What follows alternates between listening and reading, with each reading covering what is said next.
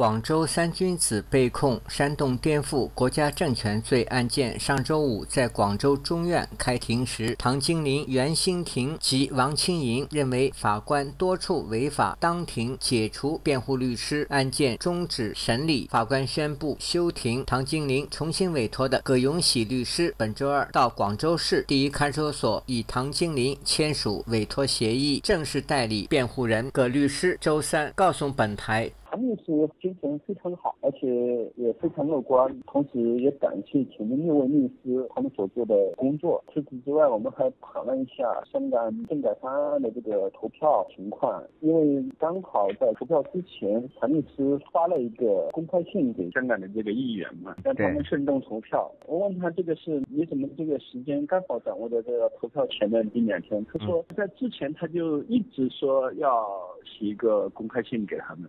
但是刚好在这个之前就发出来了，认为也是上帝的旨意吧。香港立法会议员上周四投票否决2017年行政长官选举方案，在表决前一天，唐金林通过律师向香港特首及立法会议员发表公开信，希望在这历史性的时刻能做出无愧于自己香港和国家的选择，还指真正开放的普选才是香港唯一的出路。他还表示。自己被囚也是因为要求公开公正的普选权利而已。反问香港是否沦落到这样的地步才能觉醒？在上周的庭审中，唐金林不满检察官和法官掩藏他的辩护词，要求法庭调取，但被拒绝。唐金林还因为此案关键部分是他反对一党专制，因此要求有中共党员身份的法庭人员回避，以确保公正性，但被拒绝。包括唐金林在内的三名被告人同时解除六位辩护律师。唐金林的妻子汪艳芳星期三对记者说：“他们三位被。”告人的家属将以家属的名义继续委托被解聘的律师代理此案。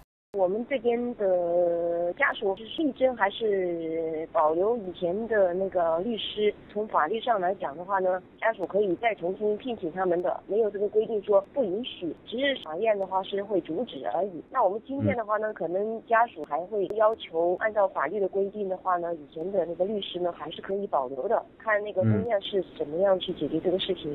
王艳芳说，王庆莹的妻子以权利要求委托原来的两位律师，而阮。新庭的家人也要求继续委托原来的代理律师。他说。那我这边的话呢，我肯定也会再次的申请的话，看能不能保留张雪峰的那个辩护的权利。我们还是要在法律上是要争取一下的。去年五月十六日，唐金玲、王清莹、袁新婷三人分别被国保从家中带走后刑事拘留。起诉书指唐金玲等三人从事公民不合作运动及六四禁私节、四二九临朝纪念日及废除户籍隔离等活动。此案因更换律师，案件。可可能需要重新开庭审理。以上是自由亚洲电台特约记者乔龙的采访报道。